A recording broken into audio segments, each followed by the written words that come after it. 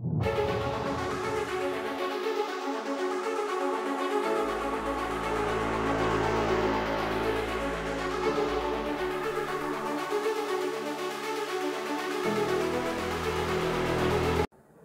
बच्चों, आपका navigator the study point में स्वागत है।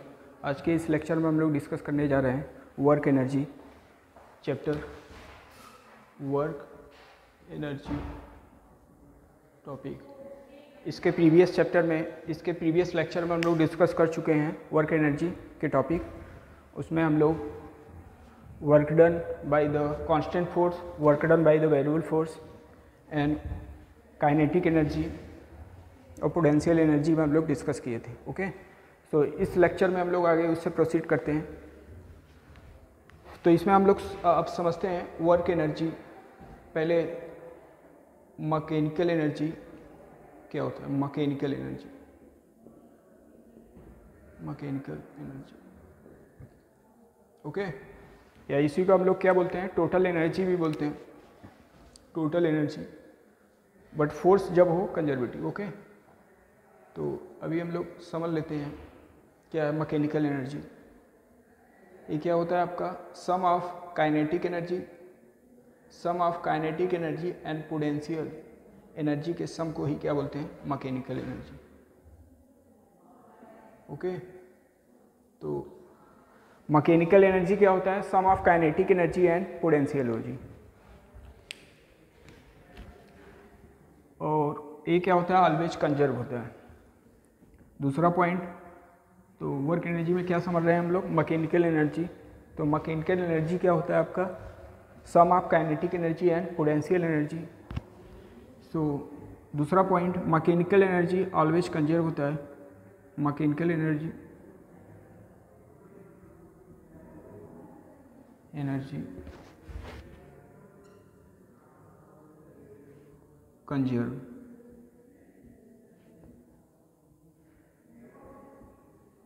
mechanical energy क्या होता है? कंजर्व इट मीन्स क्या हुआ? कंजर्व का मीन्स समझते हैं। ये आपका kinetic energy plus potential energy इन दोनों का सम क्या है? कंजर्व कंजर्व मीन्स कांस्टेंट है. ओके कंजर्व मीन्स कांस्टेंट है. तो इट मीन्स ये है, अभी स्टार्टिंग में दोनों का सम मैकेनिकल एनर्जी 10 है. तो प्रोसेस के बाद भी क्या होगा? 10 ही रहेगा. इट मीन्स क्या हुआ? अगर suppose that kinetic energy increase कर रहा है तो उस ड्यूरेशन में क्या होगा? पोटेंशियल एनर्जी ऑलवेज क्या होगा? डिक्रीज करेगा. दोनों का वैल्यू दोनों का सम क्या होना चाहिए? कांस्टेंट होना चाहिए सो so दैट अगर काइनेटिक एनर्जी इंक्रीज कर रहा है तो उसको ओवरकम को मेंटेन करने के लिए पोटेंशियल एनर्जी को उसी रेशियो में क्या होगा? डिक्रीज करना होता है ठीक है? इसी के वाइस वर्षा में अगर लिख सकते हो आप अगर काइनेटिक एनर्जी डिक्रीज कर रहा है तो उस केस में क्या होगा? पोटेंशियल एनर्जी इंक्रीज होगा ओके सो so, इसी को हम लोग क्या बोलते हैं? Mechanical energy conservation of mechanical energy suppose that एक एग्ज़ाम्पल हम लोग लेते हैं। एग्जांपल एग्ज़ाम्पल में समझते हैं, एक ऑब्जेक्ट को ड्रॉप किया जा रहा है यू इक्वल टू ज़ीरो से। यू इक्वल टू ज़ीरो से एच हाइट से ड्रॉप कर रहे हैं हम लोग। एच हाइट से हम लोग क्या कर रहे हैं? ड्रॉप कर रहे हैं ओके तो ऐसे सिचुएशन में क्या होगा? कि अभी क्या है? यहाँ पे हम लोग, अभी टी इक्वल टू ज़ीरो पे इस सिचुएशन में कौन सा एनर्जी है? वेलोसिटी तो है नहीं इट मीन्स क्या है उसके पास? हाइट है तो हाइट की वजह से कौन सा एनर्जी आता है? पोटेंशियल पोजीशन की वजह से जो एनर्जी आता है, उसे क्या बोलते हैं हम लोग? पोटेंशियल एनर्जी ठीक है? तो अभी इसके पास पोटेंशियल एनर्जी है। कितना है? एम है। लेट करते हैं इसका मास क्या है? एम है।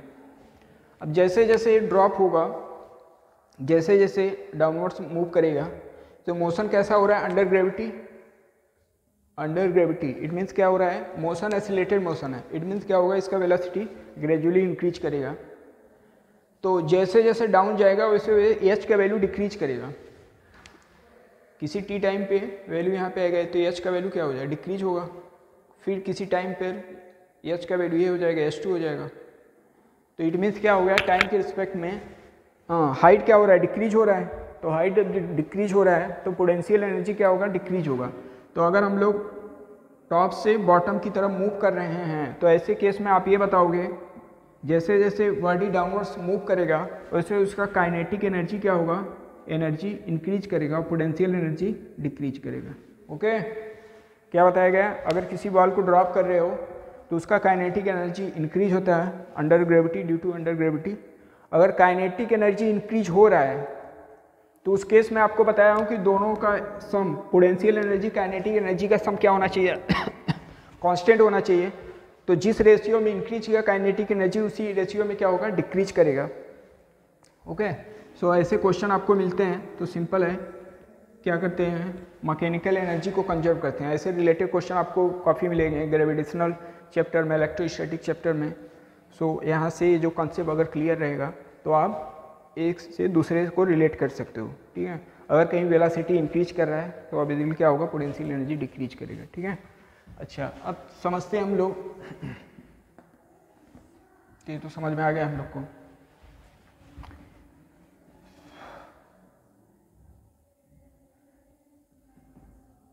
चलो इस पर हम लोग कुछ क्वेश्चन करते हैं। इसी बेस पे हम लोग कुछ क्वेश्चन करते हैं, ठीक है?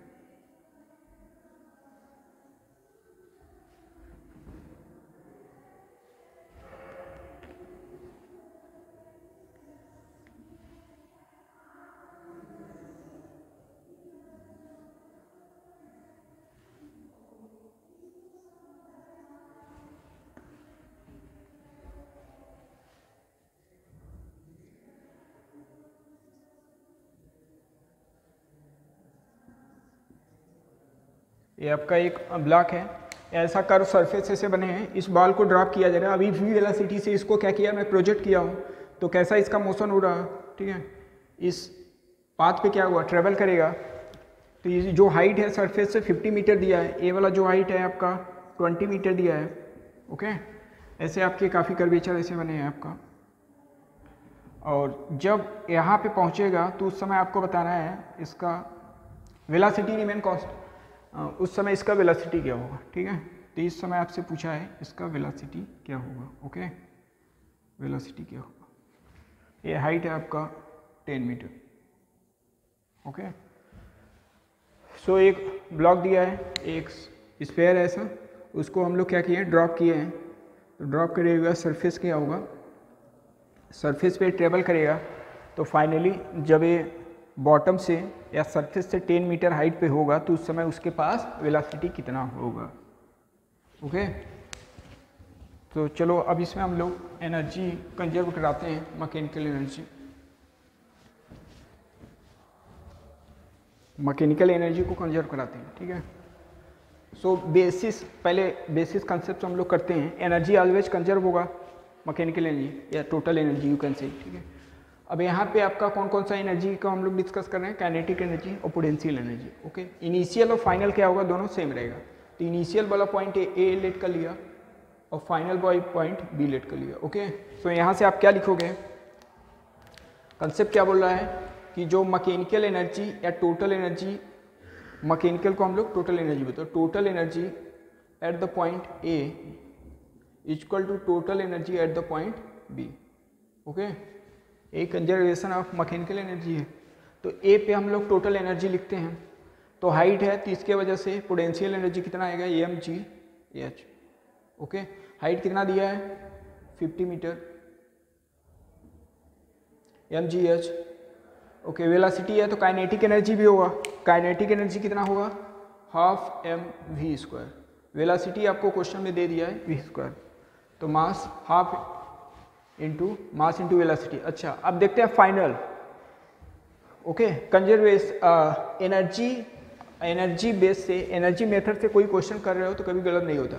और एनर्जी मेथड का आपको बेनिफिट क्या है? कि ड्यूरिंग द मोशन इसके बिटवीन इनिशियल फाइनल के बीच क्या हो रहा है, उससे कोई मतलब नहीं. ओके अभी इस, हम लोग जो सरफेस लिखे हैं, कैसा लिखे हैं? स्मूथ है. मीन्स फ्रिक्शन कोई नहीं है. तो इनिशियल में हो गया फाइनल में देखते हैं. फाइनल पॉइंट देखना है. फाइनल में हाइट है तो पोटेंशियल एनर्जी कितना एम जी एच हाइट कितना है? Ten metre plus half M B square कुछ वेलासिटी है, वही वेलासिटी आपसे पूछ रहा है तो लेट कर लिया वेलासिटी क्या हो गया आपका? वी डैश का स्क्वायर ओके अब इसको हम लोग सॉल्व कर लेते हैं। तो क्या करते हैं? इसको इधर लेके जाते हैं। 50 में से 10 माइनस हुआ तो 40 आ गया। M g into forty m g into forty plus half mass into velocity equal to half mass into velocity का डैश का स्क्वायर ओके सब जो भी आपके टर्म है, उन सब में small m small m small m same है तो उसको कैंसिल आउट कर दिया ओके यहाँ पे एलसीएम जब लोगे तो यहाँ से टू से मल्टीप्लाई होगा तो एट्टी जी प्लस वी का स्क्वायर इक्वल टू हम लोग क्या लिखेंगे? वी डैश का स्क्वायर ओके क्या निकालना है हम लोग को? वी डैश तो यहाँ पे स्क्वायर है नेक्स्ट साइड में जाएगा तो क्या मिल जाएगा? रूट में तो रूट में मिल गया आपका एट्टी जी प्लस वी का स्क्वायर ठीक है? तो ये हम लोग को वेलासिटी मिल गया at point B B point पे हम लोग को क्या मिल गया? वेलासिटी तो ऐसे ही solve by conservation of mechanical energy से हम लोग क्वेश्चन को बहुत इजीली सॉल्व कर सकते हैं, ठीक है?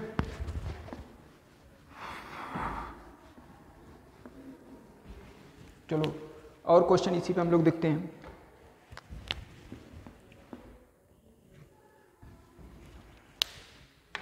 ऐसे क्वेश्चन पहले करते हैं जो आपको कंसेप्ट क्लियर करे ओके ये आपका एच हाइट का टावर है। और इस पर ऐसे काफ़ी वाल रखे हैं ठीक है? वाल वन है।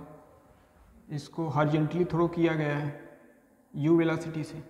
और वाल टू को वर्टिकली अपवर्ड थ्रो किया गया यू वेलासिटी से। ये हाइट है एच एक बाल है। बाल जो थ्री है उसको यू वेलासिटी से नीचे की तरफ़ ड्रॉप किया है। और वाल जो फोर है, इसको u इक्वल टू ज़ीरो से ड्रॉप किए ओके यहाँ पे कितने बाल हैं? फोर बाल हैं। फोर बाल को ए आपको सिचुएशन दे चुका है, ठीक है? अब हम लोग को बताना है कि जब ये सरफेस पे स्ट्राइक करेंगे, जितने भी बाल हैं सरफेस पे जब स्ट्राइक करेंगे तो उन सब पे वेलासिटी क्या होगा? वेलासिटी का रेशियो पूछ रहा है, ठीक है? एक और बाल ले लेते हैं इसी में। इसी हाइट पे है सेम हाइट पर। एक को मैं किसी एंगल पे प्रोजेक्ट किया हूँ फिफ्थ फिफ्थ वाला, ठीक है? इसको लेट के लिया थर्टी डिग्री पे। यू ही वेलासिटी से, ठीक है? तो सिचुएशन है there are five ball first ball को हॉर्जेंटली प्रोजेक्ट किया गया यू वेलासिटी से। सेकेंड बॉल को वर्टिकली अप्रोच अपवर्ड थ्रो किया गया यू वेलासिटी थर्ड बॉल को यू वेलासिटी से थ्रो किया गया डाउनवर्ड्स और फोर्थ बॉल को ड्रॉप किया गया।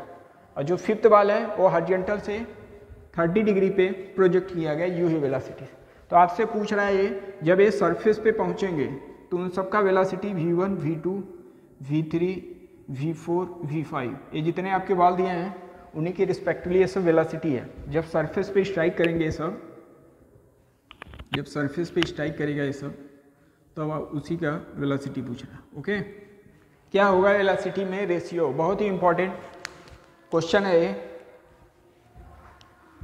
उन स्टूडेंट के लिए जो कंजर्वेशन ऑफ़ एनर्जी को समझना चाह रहे हैं या इस क्वेश्चन को विदाउट कैलकुलेशन सॉल्व करना चाह रहे हैं, ठीक है? तो ऐसे क्वेश्चन है, आपका कंसेप्ट भी क्लियर करेगा और बहुत इजीली से क्वेश्चन भी हो जाएगा, ठीक है? चलो, हम लोग एनर्जी तो कंजर्व कर सकते हैं, ठीक है? एनर्जी कंजर्व कर लेते हैं। तो स्टार्टिंग में इसके पास जितने भी, ठीक है स्टार्टिंग में एनर्जी और फाइनल एनर्जी दोनों इक्वल करते हैं, आप समझते हैं ऐसा। तो स्टार्टिंग में इसके पास अगर मैं पूछूँ, इन सब बॉल के पास इसके पास कितना एनर्जी है? सबका मास एम ही है ऑल आइडेंटिकल बॉल है। All identical identical ball. सब बॉल कैसे हैं? आइडेंटिकल हैं। इट मीन्स सबका मास क्या है? सेम है। और सबको सेम हाइट से थ्रो किया गया है, ठीक है? तो ऐसे में जब ये सरफेस पे स्ट्राइक करेंगे तो उन सब में वेलासिटी में क्या ऑर्डर होगा? डिसेंडिंग ऑर्डर इंक्रीजिंग ऑर्डर कुछ भी आपसे पूछा जा सकता है। तो चलो, पहले करते हैं एनर्जी कंजर्व करते हैं, ठीक है? अगर फ़र्स्ट बाल के लिए पूछा जाए अच्छा जो काइनेटिक एनर्जी है, वो डायरेक्शन पे डिपेंड नहीं करता ओके काइनेटिक एनर्जी डायरेक्शन पे डिपेंड नहीं करता वेलोसिटी एक बाल को आप इधर थ्रो किए हो, एक बाल को डाउनवर्ड थ्रो किए हो। अगर इसमें पूछा जाए काइनेटिक एनर्जी क्या हाफ़ एम बी इसमें भी हाफ़ एमबी बिकॉज़ एनर्जी क्या है? स्केलर क्वांटिटी तो यहाँ पे एनर्जी पे डिपेंड नहीं करता है, ठीक है? तो अगर मैं फ़र्स्ट बाल के लिए पूछूँ काइनेटिक एनर्जी तो क्या बताओगे? Half m v square fifth ball के लिए भी आप बताओगे क्या? Half half m v square because अभी बताया डायरेक्शन पे डिपेंड नहीं करना। काइनेटिक एनर्जी मास और वेलासिटी भी देखना है okay mass into velocity so ये मिल गया। इट मीन्स क्या हुआ? फ़र्स्ट बाल फिफ्थ बाल और सेकेंड बाल में ही क्या है? यू वेलासिटी है। और थर्ड बाल में भी क्या है? यू वेलासिटी है ओके सो यहाँ पे ये कह सकते हो कि जो kinetic energy initial kinetic energy है इनिशियल काइनेटिक एनर्जी किस वाल का? काइनेटिक एनर्जी ऑफ़ वन का, वही काइनेटिक एनर्जी किसका होगा? टू का होगा, वही काइनेटिक एनर्जी किसका होगा? फिफ्थ का होगा, वही काइनेटिक एनर्जी किसका होगा? थर्ड वाले ओके सबका काइनेटिक एनर्जी क्या होगा? सेम होगा। बिकॉज़ काइनेटिक एनर्जी वेलासिटी तो वेलासिटी सबका सेम है। अच्छा अगर पूछा जाए initial velocity initial initial velocity initial kinetic energy किसका? फोर्थ वाल का। फोर्थ वाल का इनिशियल काइनेटिक एनर्जी क्या बताओगे? फोर्थ वाल को। वो क्या है? ज़ीरो है। ओके ज़ीरो है। अच्छा जैसे ये सरफेस पे स्ट्राइक करेगा, जैसे ही ये सब सरफेस पे स्ट्राइक करेंगे तो होगा क्या? होने, क्या होगा इस पर तो ऐसे केस में जब स्ट्राइक करेगा तो पोटेंशियल एनर्जी ज़ीरो क्योंकि एच का वैल्यू क्या हो गया? ज़ीरो अब जब स्ट्राइक करेगा तो वही वेलासिटी तो हम लोग एनर्जी जब कंजर्व करेंगे तो यहाँ पे है इन सब के पास काइनेटिक एनर्जी जैसे स्ट्राइक करेगा, सबका पोटेंशियल एनर्जी ज़ीरो हो जाएगा। तो ठीक है? तो ऐसे केस में क्या होगा कि इनिशियल अगर पूछा जाए, initial total energy, initial initial total energy किसका? इनिशियल टोटल एनर्जी किसका? वन का। टोटल एनर्जी टू का और टोटल एनर्जी फाइव का, टोटल एनर्जी थ्री का, okay? M g h potential energy भी सबका सेम है। पोडेंशियल इसी के करस्पॉन्डिंग अगर हम लोग लिखें पोडेंशियल एनर्जी इनिशियल ठीक है? पोडेंशियल एनर्जी जो है आपका वन का, वही पोडेंशियल एनर्जी जितने भी बॉडी हैं, सबका पोडेंशियल एनर्जी क्या है? एम जी एच है। तो सबका पोडेंशियल एनर्जी सेम है। P two p three p four and p e five सबका पोटेंशियल एनर्जी सेम है ओके तो यहाँ पे टोटल एनर्जी किसका वन का टू का थ्री का थ्री का और फाइव का क्या है? सेम होगा। अब जैसे ही सरफेस भी स्ट्राइक करेगा तो उस केस में क्या है? काइनेटिक एनर्जी आएगा। अब वही काइनेटिक एनर्जी आपको बताना है ओके सो so, अब जितना यहाँ पे जितना अधिक काइनेटिक एनर्जी होगा या जितना मैक्सिमम इसके पास टोटल एनर्जी होगा वही मैक्सिमम यहाँ भी, भी होना चाहिए आपका। तो ऐसे में आप देख रहे हो तो टोटल एनर्जी किसका? वन टू थ्री और फाइव का सेम है। इट मीन्स क्या हो गया? वेलासिटी ऑफ़ वन और वेलासिटी ऑफ़ टू और वेलासिटी ऑफ़ थ्री और वेलासिटी ऑफ़ फाइव जब सरफेस पे स्ट्राइक करेगा तो सबका क्या होगा? वेलासिटी सेम होगा। बिकॉज़ इन सब का इनिशियल जो काइनेटिक इनिशियल जो टोटल एनर्जी है इनिशियल उस केस में पोटेंशियल एनर्जी और काइनेटिक एनर्जी का सम क्या है? सबका सेम है। ओके इतना क्लियर है? सबका सेम है? तो ऐसे में क्या होगा? वन टू थ्री और फाइव का क्या होगा? वेलासिटी सेम होगा। तो ये जो क्वेश्चन है अगर कंजर्वेशन ऑफ़ एनर्जी से नहीं कर रहे एनर्जी मेथड से नहीं कर रहे हैं तो अगर काइनेमेटिक से यूज़ करो बहुत कॉम्प्लिकेटेड बनेगा ओके सो so, यही विनफिट है किसका? एनर्जी कंजर्वेशन का ठीक है? अब इसके पास देखो अगर बोला जाए इनिशियल काइनेटिक एनर्जी किसका? फोर्थ वाले का। तो फोर्थ वाले का इनिशियल काइनेटिक एनर्जी क्या है? ज़ीरो है। इसके पास केवल क्या है? पोटेंशियल एनर्जी तो क्या हो गया? इन सब के कंपेयर में इसके पास केवल पोटेंशियल एनर्जी है, जबकि थ्री के थ्री के अलावा जितने भी बॉडी हैं, सबके पास क्या है? पोटेंशियल एनर्जी भी है और काइनेटिक एनर्जी तो इसके पास एनर्जी क्या है? कम है। तो आप कह सकते हो, जब ये स्ट्राइक करेगा तो उसका वेलासिटी भी क्या होगा? कम होगा। तो ये कह सकते हो, इन सब का velocity greater than the velocity of किसका होगा? फोर सो ये आपको रिलेशन मिल गया। ओके ये आपको रिलेशन मिल गया। सो so, बहुत ही इंपॉर्टेंट क्वेश्चन था आपको कंसेप्ट क्लियर करने के लिए। इसमें और भी हम लोग रिलेशन निकाल सकते हो टाइम क्या होगा। ओके तो केवल यही एनर्जी कंजर्वेशन बेस पे क्वेश्चन किए।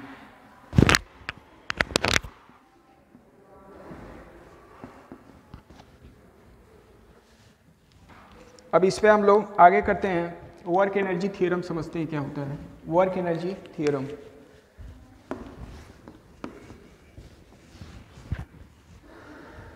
work energy work energy work energy theorem ठीक है? Last work energy theorem work energy theorem work energy theorem क्या होता है? बहुत ही इंपॉर्टेंट एक uh, टॉपिक है।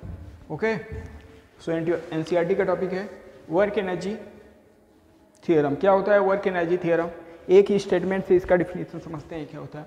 Net work done on a system net work done अब नेट वर्क डन में सिस्टम पे कोई भी आपके जितने भी फोर्स दिए हैं, सबके वजह से आप वर्क डन निकालो। वही क्या होगा? Net net work done means क्या होगा? Total work done by the system equality क्या लिखे हुए change in the kinetic energy बहुत ही इंपॉर्टेंट है आपका।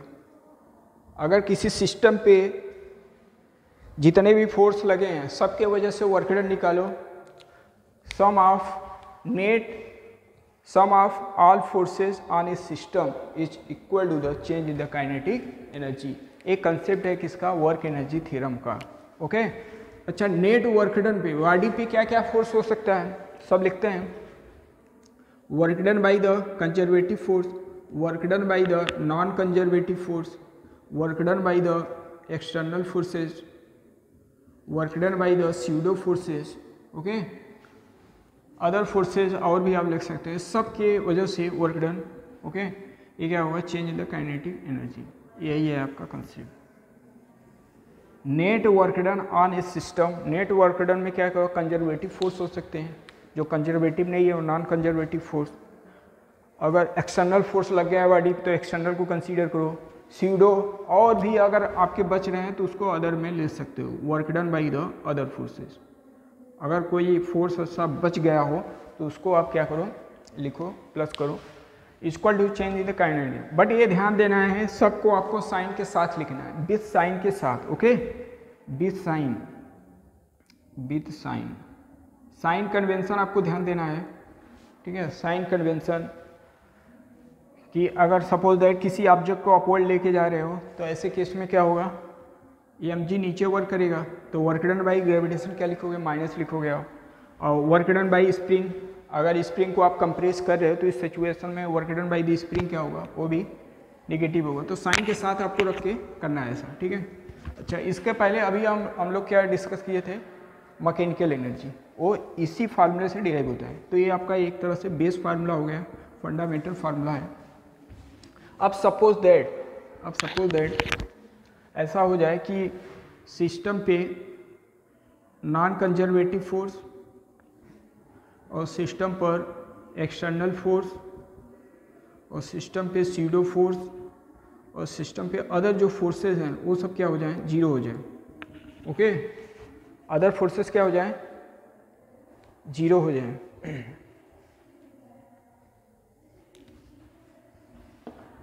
तो हम लोग क्या लिख सकते हैं ऐसे सिचुएशन में? ये सब ज़ीरो हो जाएगा तो यहाँ पे मिलेगा work done by the conservative force work done by the conservative force external force को अभी रह देते हैं हम लोग. कंजर्वेटिव फोर्स प्लस इसको भी और इसको भी ज़ीरो लिख ले रहे हैं ज़ीरो इसको भी रखो, ठीक है? तो क्या मिलेगा? Conservative plus work done by non conservative a g zero a भी ज़ीरो ए भी ज़ीरो सब zero equal to change in the kinetic energy okay so conservative force को हम लोग लिख सकते हैं यहाँ पर। अब कंजर्वेटिव फोर्स तो work done by conservative force equal to change in the kinetic energy okay अब का work done by the conservative force conservative force gravitational force हो गए। स्प्रिंग फोर्स हो गया इलेक्ट्रोस्टिक फोर्स हो गया तो ये सब हम लोग क्या करते हैं, इससे यूज़ कर लेते हैं, ओके?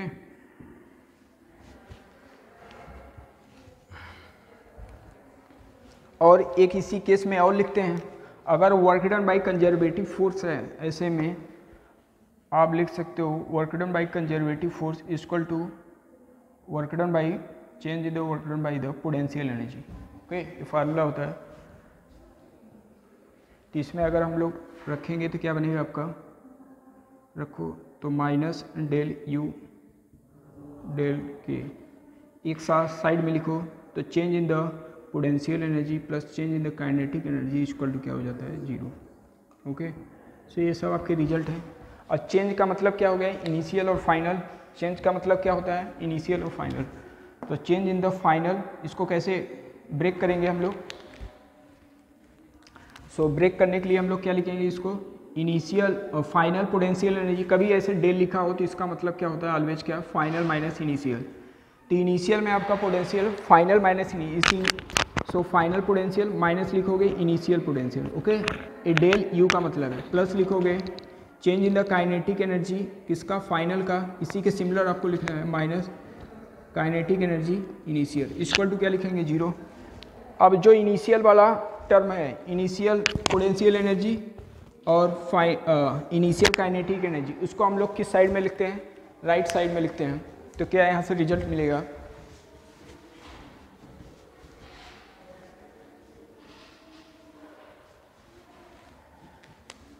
चलो तो लिखते हैं यहाँ पे क्या लिखे हुए u final plus u final वाला टर्म उसको लेफ़्ट हैंड साइड में मेंटेन करते हैं। Kinetic energy final initial initial potential energy plus initial kinetic energy okay so यहाँ से कंसेप्ट आपको मिल गया सिस्टम का इनिशियल में पोटेंशियल एनर्जी इनिशियल में काइनेटिक एनर्जी जो सम होगा, वही सिस्टम का फाइनल का पोटेंशियल एनर्जी प्लस इनिशियल का पोटेंशियल एनर्जी होगा। ओके ये आपका work energy theorem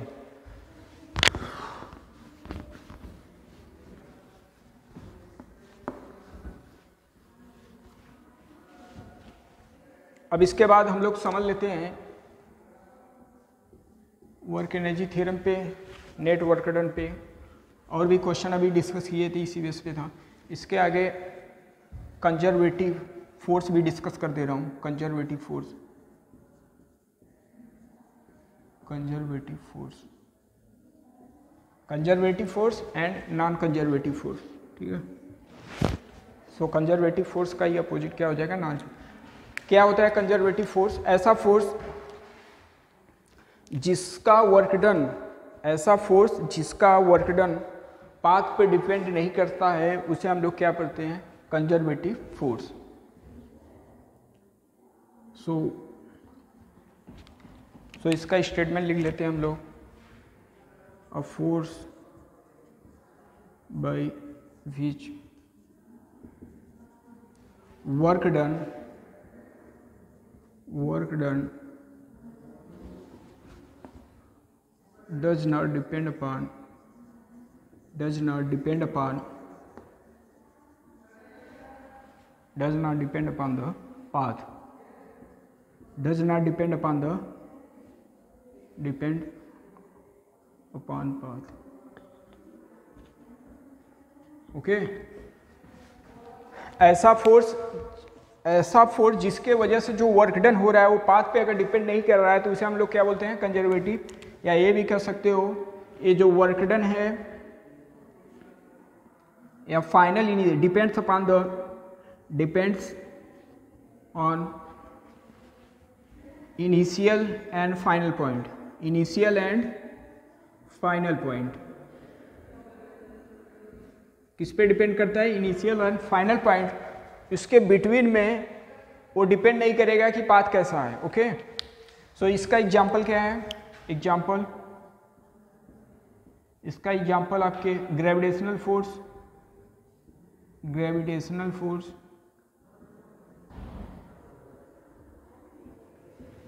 electrostatic force electrostatic force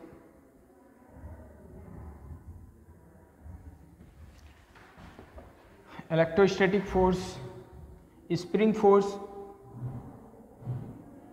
spring force. Okay तो ये सब जो फोर्सेज हैं, ये सब जो फोर्सेज हैं, कैसे फोर्सेज हैं?